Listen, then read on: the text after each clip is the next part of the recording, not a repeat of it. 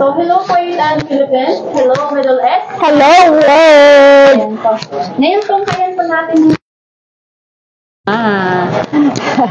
Ayan, hello ah, mga kabayan. Ah, magandang araw po sa inyong lahat. Ako si Miss Bad, ang Distance Learning Coordinator ah, dito sa Middle East or um, ayan, ah, to be more particular, dito po ako nakabase sa Kuwait. Ayan. So, ah, makakasama natin ngayon si Miss ah, Fatima Maha Mihitam at siya po ay tatanggap ng kanyang credential. Congratulations sa iyo. Please come and join me.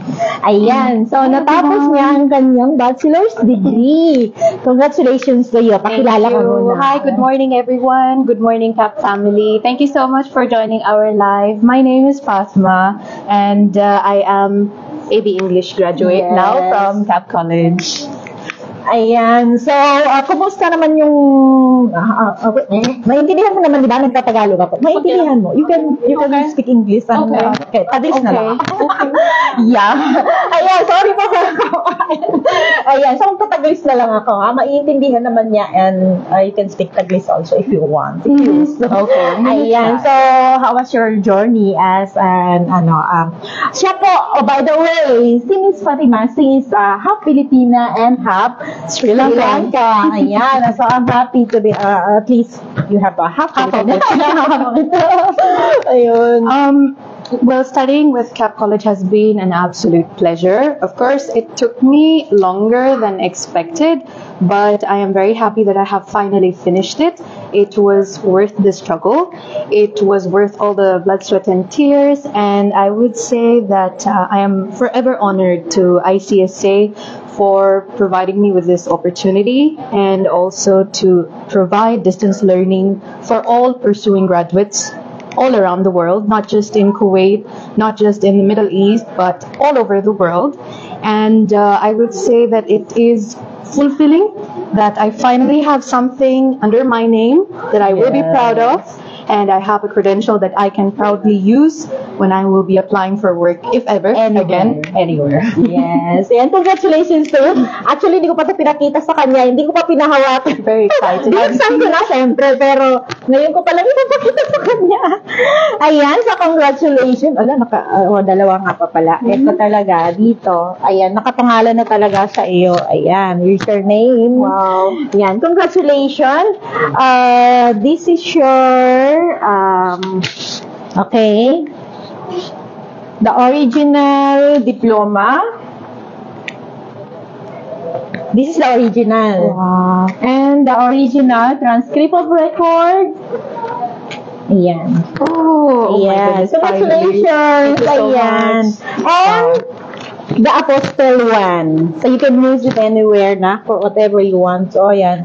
So, um, this one, ito yung gagamitin niya po uh, para sa mga kung saan mo gagamitin if you want to use it, uh, I mean, uh, for driving, getting a driving license, Mhm. ayan, or for work promotion, kahit saan, ayan, saan mo gagamitin. But first, you have to go uh, to um, translation company, Okay. uh, translate it in Arabic, and then go to the Philippine Embassy Mhm. for attestation. Right. And after that, for uh, Department of Foreign Affairs dito sa Kuwait. And pwede mo nang gamitin sa kahit anong gusto mo. So, Okay. congratulations. Of course, masaya ako. Kasi isa na naman nakapagtapos. Ayan, di ba?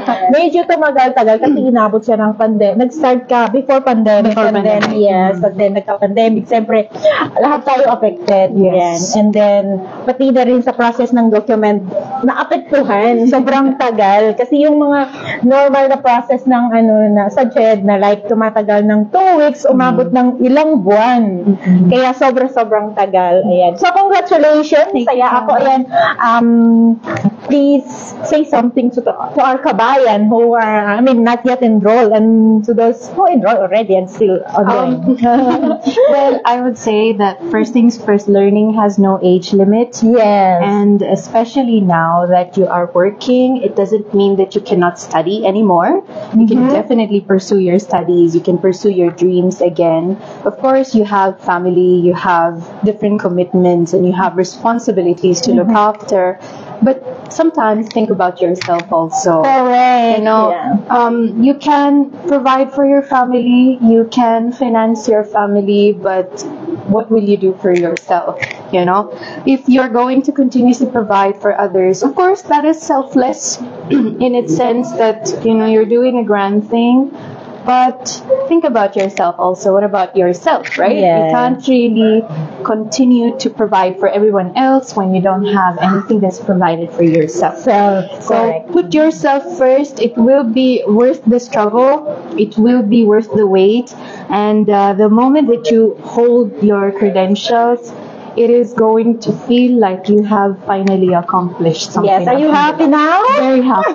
Very happy, Alhamdulillah. Yes. And um, for our fellow graduates or those who will be graduating, Mhm. just keep pushing harder. Um, you will have to sacrifice uh, things in between, Yes. but the sacrifice will definitely pay off when you um, get your Katulad ngayon, di ba? today, yes, you will feel that it it was all worth the wait. It was all worth the struggle and the sacrifice.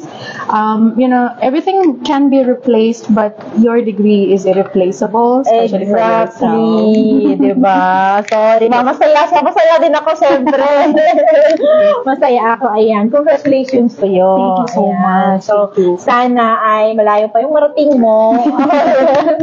ayan, congratulations. Thank you so much. Thank you so much, Ms. Badria. Thank you so much also to ICSA, um, Yeah. especially to Sir Amir, Sir Mark, uh, Mr. Yasser, and uh, our previous employee, Mr. Roland. Um, Yeah. Very, very grateful Shout that he was able to inspire me and he was able to persuade me to Mm-hmm. pursue a college degree, and also to Ms. Badria because her undying support and her cooperation and her steadfast commitment towards providing the best for us as students is unmatchable. So please, thank you very much. And uh, if you are planning to enroll, enroll now. Yes, yeah. Don't wait for tomorrow. Oh yes, Yeah. never. Tomorrow is never guaranteed. Yes, so you should definitely put yourself first. Think about your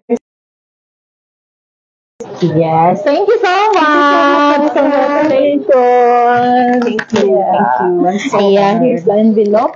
Ayan, so uh, mga kababayan, yan, sa, sa mga gusto pang magpa-enroll, marami po tayong course na pwedeng pagpilian. Meron tayong BSBM, Major in Marketing Management, Operation Management. Next naman, sa mga high school graduate, Form 138 po, sa mga ALS-passer, grading report na rin natin. At yun, ganun din sa mga senior high graduate. Sa mga college level, transcript of record, of course, para sa evaluation purpose and honorable dismissal. Pwedeng pwede po tayo magpaset ng consultation sa mga marami pang katanungan. Actually, ngayon, naghihintay sa akin yung aking mga consultation. Ayan, minub ko lang ng konti yung oras kasi dumating siya para kunin yung kanyang credential. And thank you so much for, I mean, uh, having you today. Ayan. So, uh, maraming salamat. Ayan, thank you so much. Mag-message lang po kayo. Ayan, ako si Miss Mars, nagsasabing I say pray, your partner in success.